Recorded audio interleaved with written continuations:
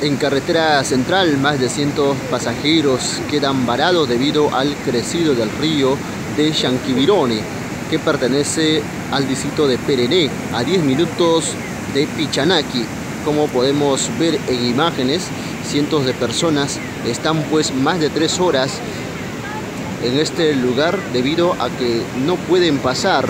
Como ustedes pueden apreciar, el crecido del río debido a la fuerte lluvia que soporta la selva central.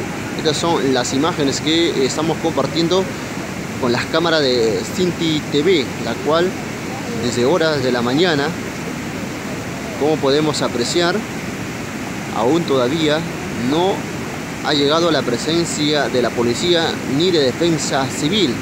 Ellos deberían estar en este lugar para dar orientación a las personas quienes están viajando de Lima a Satipo y Satipa y Satipo Lima.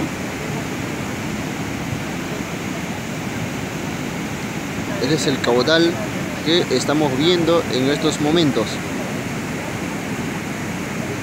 Los conductores van a esperar que baje un poco el caudal para poder pasar en este tramo que ha crecido como repetimos debido a las fuertes lluvias que soporta en la selva central